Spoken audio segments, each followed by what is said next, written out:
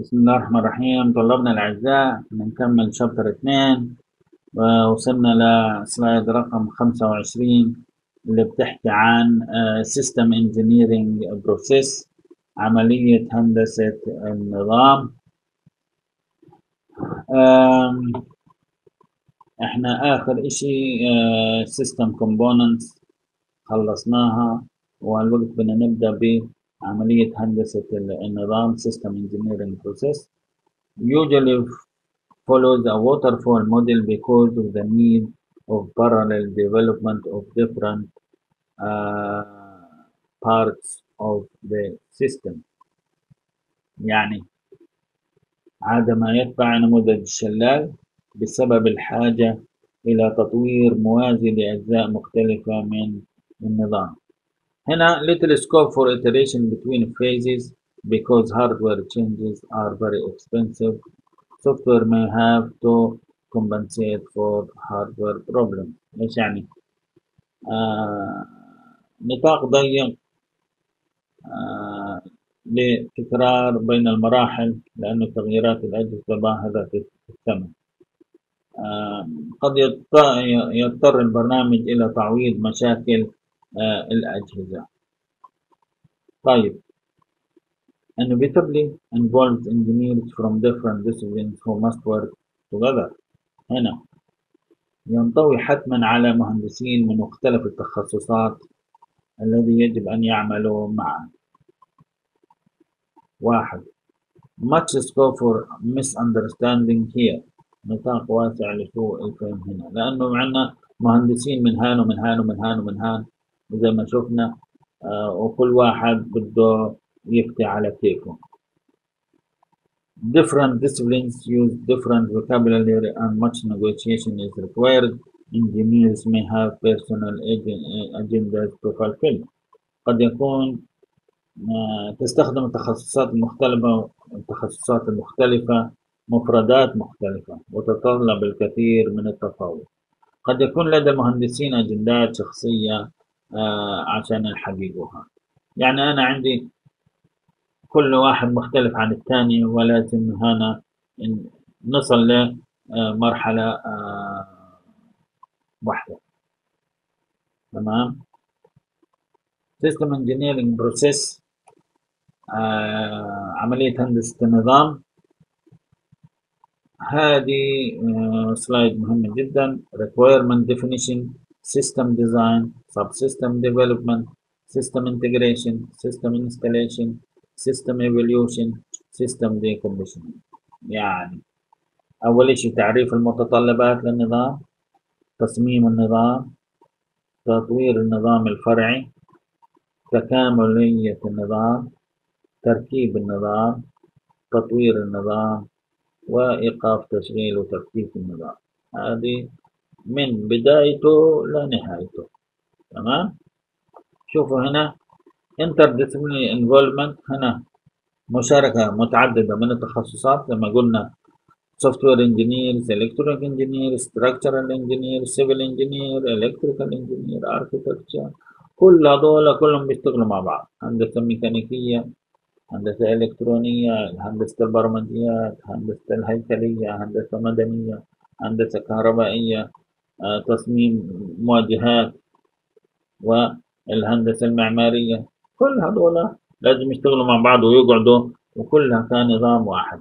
System Requirement Definition تعريف متطلبات النظام. المتطلبات الأساسية من Three type of requirement defined at this بهذه المرحلة ثلاث أنواع من المتطلبات محددة في هذه المرحلة. ثلاث نحددها. ثلاث أنواع. واحد abstract functional requirements متطلبات وظي- وظيفية مجردة system functions are defined in an abstract way يعني يتم تعريف وظائف النظام بطريقة مجردة بطريقة فيش يعني واحد زائد واحد يساوي اثنين system properties خصائص النظام non-functional requirements for the system in general are defined يتم تحديد المتطلبات غير الوظيفية للنظام بشكل عام. Undesirable characteristics خصائص غير مرغوب فيها. Unacceptable system behavior is specified. أيضا يتم تحديد السلوك النظام غير المقبول. يعني مش بس النظام المقبول للنظام وغير المقبول. أيضا should also define overall organizational objective for the system. يجب أيضا تحديد الأهداف التنظيمية العامة للنظام كلها. لازم.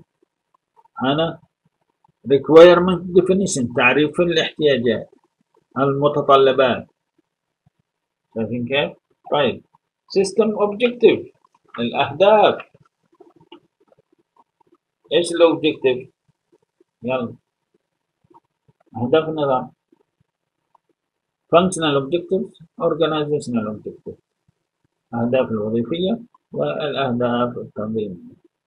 To provide a fire or internal alarm system for the building which is provide internal and external warning of fire or, un, for, or unauthorized intrusion. يعني توفير نظام إنذار. يعني هنا الأهداف ال ال ال ال الوظيفية. توفير نظام إنذار ضد الحريق وتدخل والتدخل للمبنى والذي سيوفر تحذيرا داخليا وخارجيا من الحريق أو أي اختراق غير مصرح به.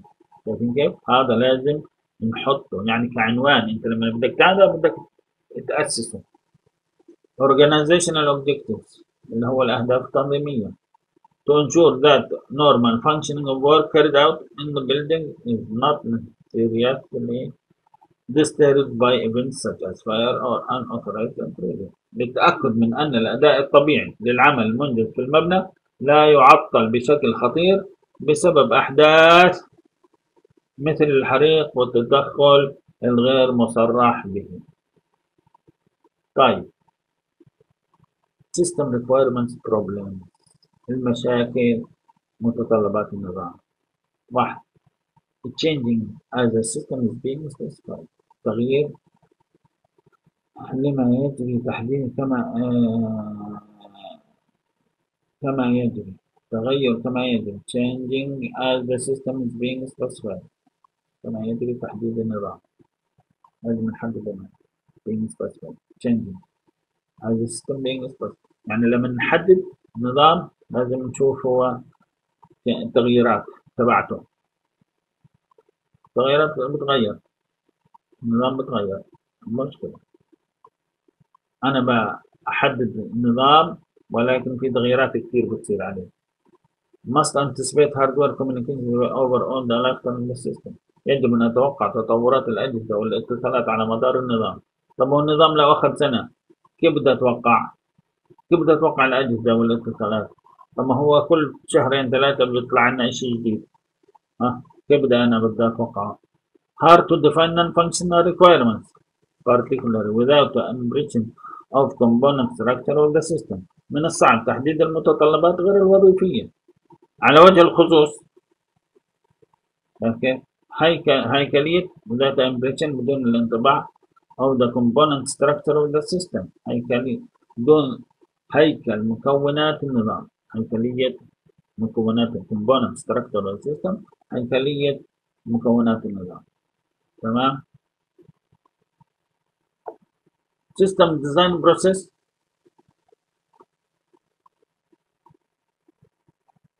partition requirements اللي هو عملية تصميم النظام identify some requirements assign requirements to subsystem specify subsystem functionality define subsystem interface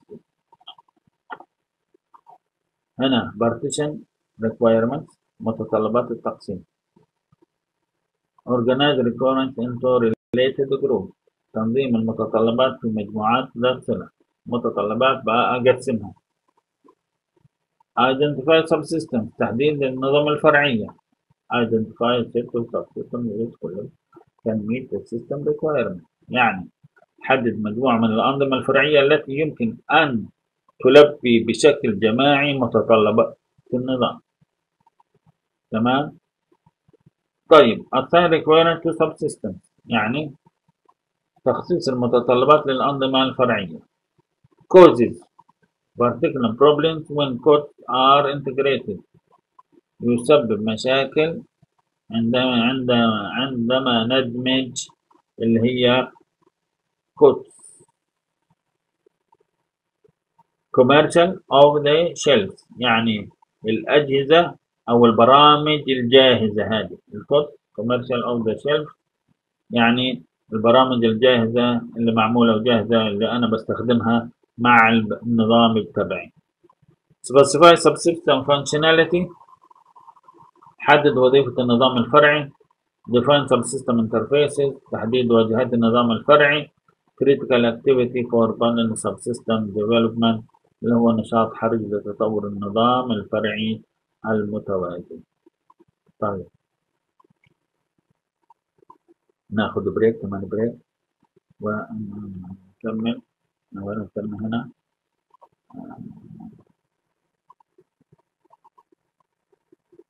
system design process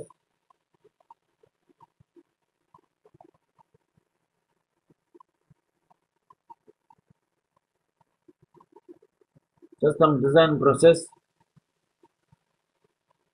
هذه uh, partition requirements and define subsystem assign requirements to subsystems هذه اللي إحنا حكينا عنهم partition requirements and define subsystem assign subsystem uh, requirements to subsystems specify subsystem functionality define subsystem interfaces uh, ناخذ بريك لهان وبدنا نكمل design system design problem المحاضرة القادمة إن شاء الله وهالوقت يعطيكم العافية ناخذ break السلام عليكم ورحمة الله وبركاته